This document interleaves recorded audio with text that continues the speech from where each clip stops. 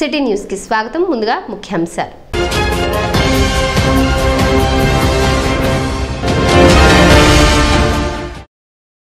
మూడు రాజధానులకు జనం మద్దతిస్తే నోరెత్తనన్న చంద్రబాబు. దమ్ముంటే రెఫరెండం పెట్టాలని జగన్మోహన్ రెడ్డికి సవాల్.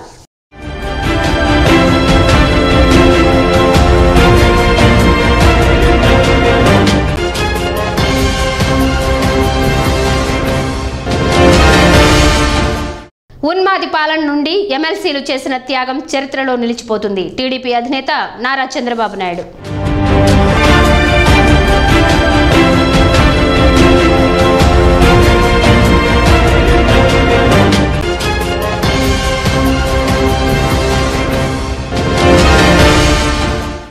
రాజధాని అమరావతి పోరాటానికి విరాళాల వెల్లువ.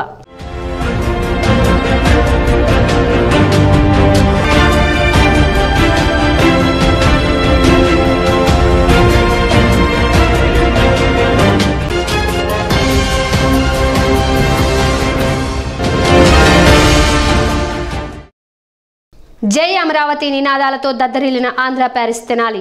సీఎం జగన్మోహన్ రెడ్డిని తుగ్లక్ కాదు జగ్లక్ అంటూ నేతల విమర్శలు.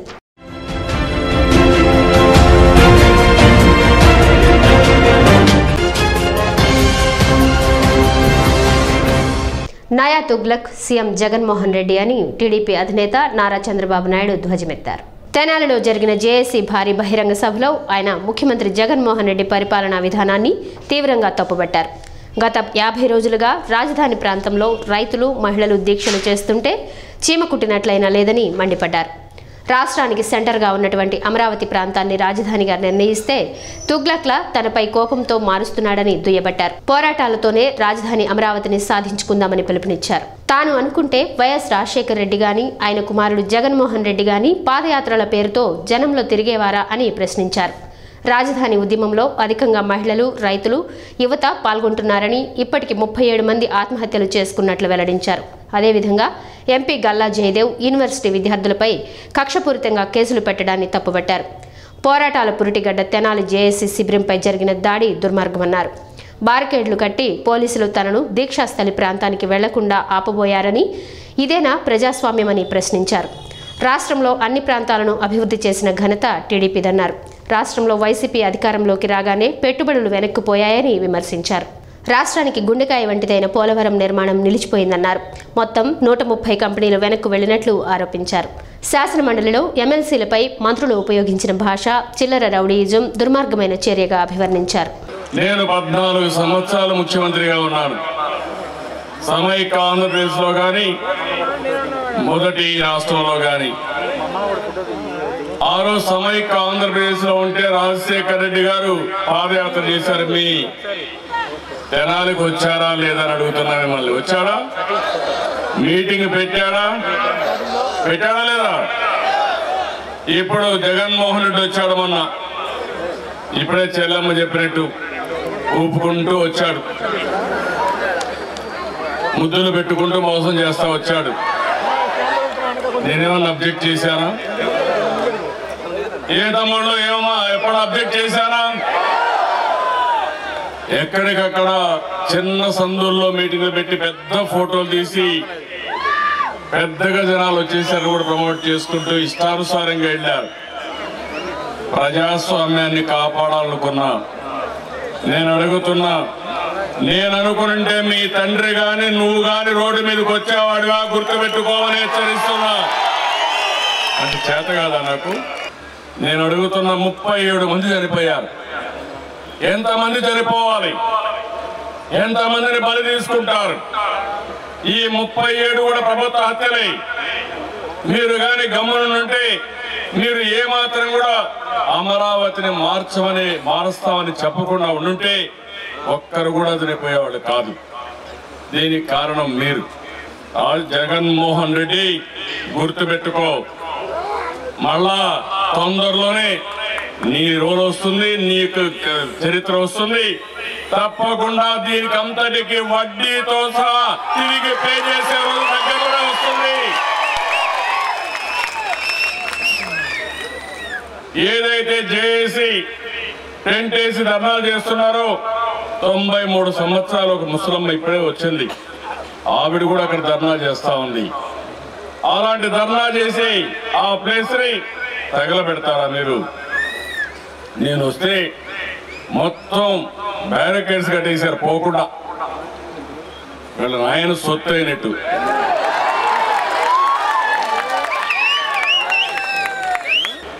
ఈ పెద్ద మనిషి నయా తుగ్లక్. ఆయన చనిపోయాడు అనుకున్నాం. చరిత్రలో మిగిలాడు అనుకున్నాం కానీ ఆయన మళ్ళా పుట్టాడు ఇక్కడ. మహారాష్ట్రలో పుట్టాడు ఆ నయా తుగ్లక్ పుట్టాడు. ఈ నయా తుగ్లక్కి జ్ఞానోపదయం చేయమని ఆయన మనసు మార్చి అమరావతి ఇక్కడే ఉండేట్టుగా ఇబ్బందులు లేకుండా చేయమని ప్రార్థన చేయాలని పిలిపించారు. దీన్ని కూడా నేను ఆమోదిస్తూ అందరూ చేయాల్సిన అవసరం ఉందని చెప్పి కూడా నేను మీకు తెలియజేసుకుంటున్నాను. పిల్ల కుంకలు నన్ను తెనాలి పొలిమేరలు దాటనివ్వనని మీడియా ఎదుట ఉత్తర కుమారుని ప్రగల్భాలు పలుకుతున్నారని వైసీపీ నేతలను ఉద్దేశించి టీడీపీ అధినేత నారా చంద్రబాబు నాయుడు పలు హాస్యాస్పద వ్యాఖ్యలు చేశారు. స్థానిక విఎస్ఆర్ కళాశాలలో ఏర్పాటు చేసిన భారీ బహిరంగ సభలో ఆయన సీఎం జగన్మోహన్ రెడ్డి ఆయన మంత్రివర్గం స్థానిక వైసీపీ నేతలను ఉద్దేశించి పలు కీలక వ్యాఖ్యలు చేశారు. శాంతియుతంగా దీక్ష చేస్తున్న జేఏసీ నేతలపై వైసీపీ నేతల దాడిని ఖండించారు. అన్ని గుర్తుపెట్టుకుంటామని ఎవరిని వదిలేది లేదని హెచ్చరించారు. ఇక్కడ చూస్తున్న ఒక నాయకుడు మహానాయకుడు మాట్లాడుతున్నాడు. నన్ను రానీడంట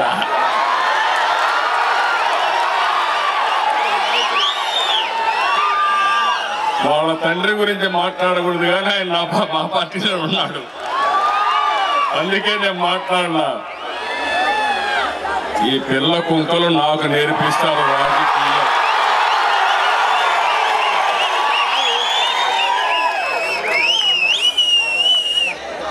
నాయకులు అనేవాళ్ళు ఒళ్ళు దగ్గర పెట్టుకోవాలి.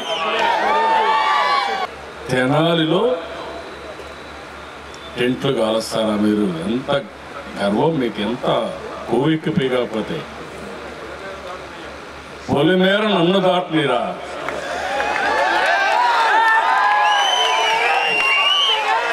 దాటలేరా అడుగుతున్న ఇక్కడుండే వైఎస్ఆర్ కాంగ్రెస్ కుర్ర కుంకల్ని.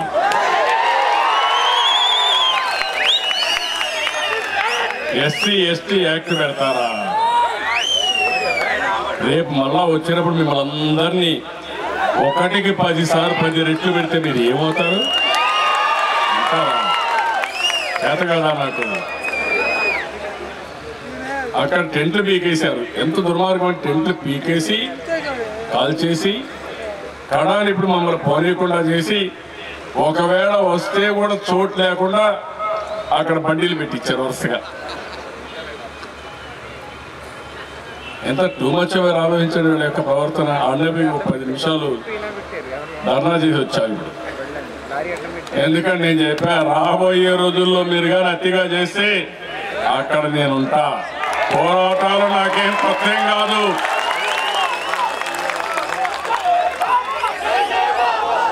గౌరవంగా చట్టాన్ని మీరు అమలు చేస్తే మేము కూడా సహకరిస్తాం.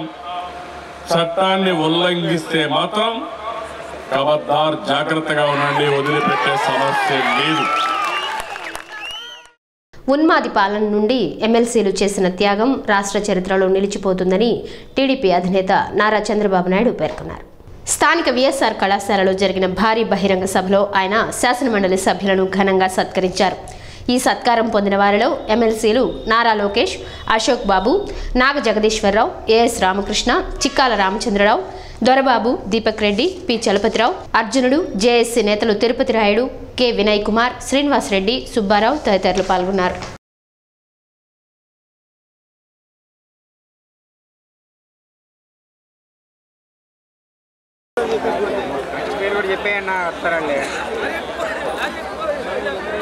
దొరబాబు గారు.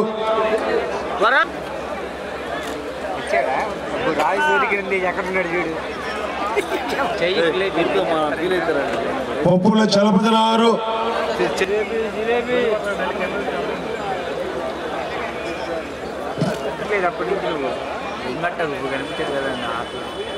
ఎన్ని ఎన్ని పది రోజులకి.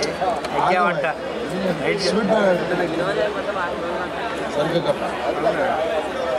మీరు ఇక్కడ లోకల్ జేఏసీ నాయకులు సార్. ఎక్కేశారు మొత్తం జనాలంతా. సంజ సంజ వెళ్ళిందండి.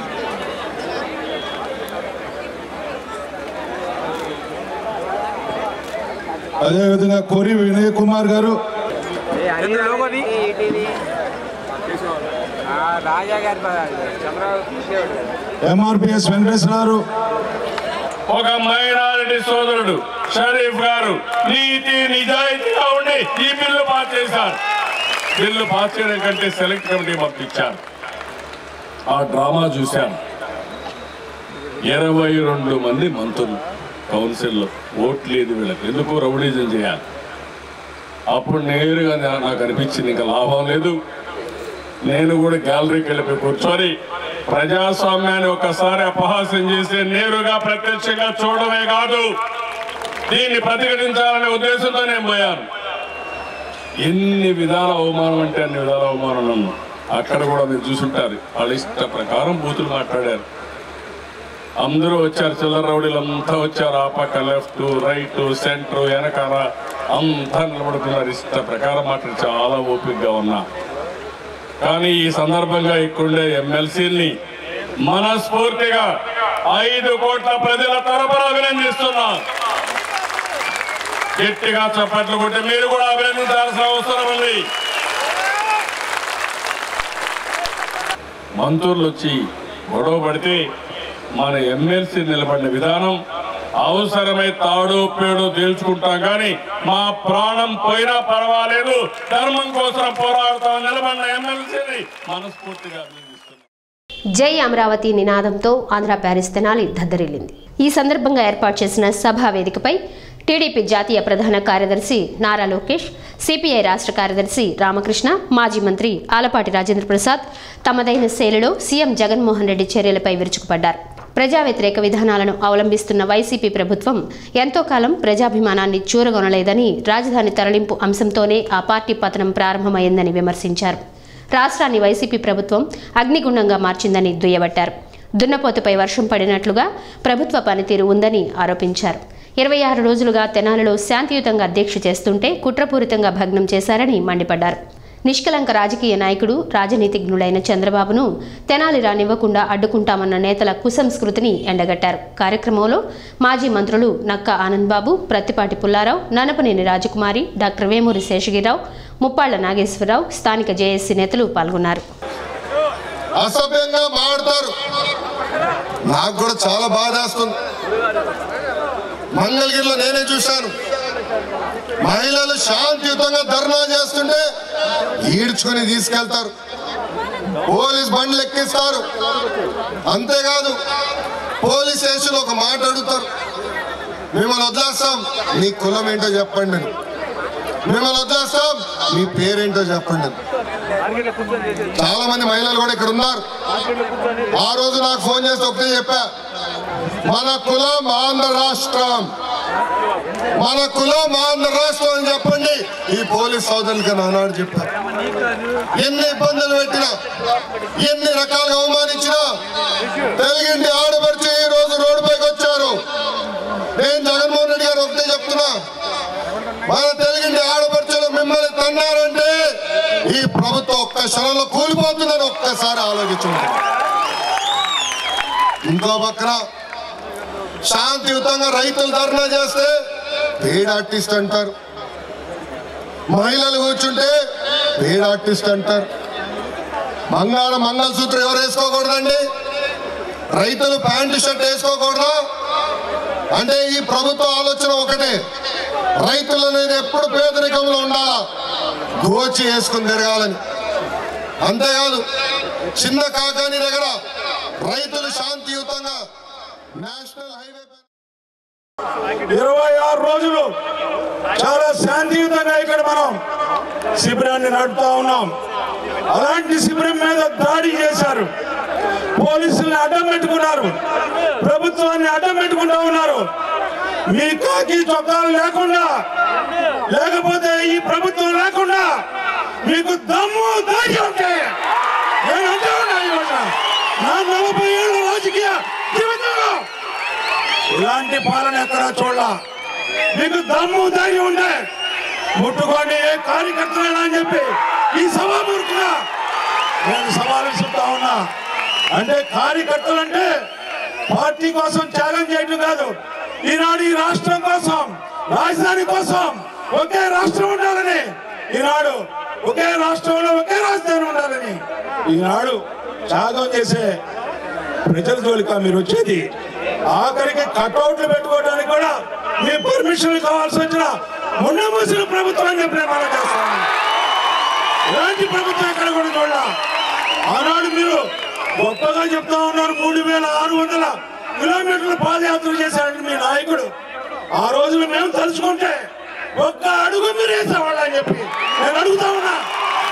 ఈ నాయకుడు రాజు నీతిజ్ఞుడు ఈ రాజు నీతిజ్ఞుడే కాదు ఇవాళ సమ సమాజం కావాలని చెప్పి సమ సమాజంలో మనందరూ కూడా సుఖశాంతితో నివసి- జీవించాలని చెప్పి ఆ రకమైన ప్రయత్నానికి నాంది పలికినటువంటి నాయకుడు మన నాయకుడు చంద్రబాబు నాయుడు గారు. నువ్వు మూడు రాజధానులు అన్నారు అందరు కూడా తుగ్లక్ అన్నారు. కొంతమంది అన్నారు ఆయన తుగ్లక్ కాదయా ఆయన జగ్లక్ అన్నారు. తుగ్లక్ ఏమి? తుగ్లక్ వారియర్. తుగ్లక్ మహామేధావి. ఢిల్లీ నుండి దౌలతాబాద్కి దౌలతాబాద్ ఢిల్లీకి మార్చాడు తప్ప మూడు రాజధానులు పెట్టాలా? ప్రపంచంలో ఎవ్వరూ పెట్టాలి. మన జగ్లకే పెట్టింది మరి దాన్ని ఆపింది ఎవరు? పాపం ఎమ్మెల్యేలు ప్రయత్నం చేశారు వాళ్ళకి చేతగాల. ఎమ్మెల్సీలు ఇవాళ మూడు నాలుగు నెలల పాటు ఆపారు వాళ్ళు. నీకు తుగ్లక్ అనే పేరు రాకుండా ఇంకా మూడు నెలలు టైం ఇచ్చారు నీకు. కాబట్టి ఇప్పటికైనా వాళ్ళకి రుణపడి ఉండాలి. ఇప్పుడు ఒక చిన్న విరామం.